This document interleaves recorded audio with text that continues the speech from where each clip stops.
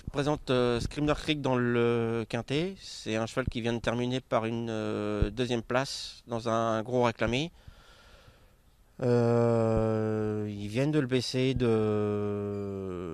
livre.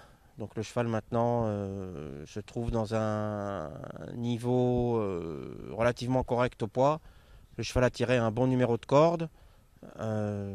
La PSF il connaît, il a déjà fait l'arrivée sur ce, sur ce parcours-là, donc euh, j'attends une performance correcte de sa part.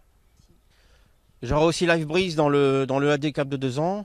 Euh, ça va être exactement le premier handicap de, de sa carrière. Il vient de, sur sa dernière sortie, il vient de s'imposer, ils lui ont mis un kilo et demi. Donc euh, on, va, on va voir comment il se comporte, mais là aussi j'attends, j'attends de bons résultats.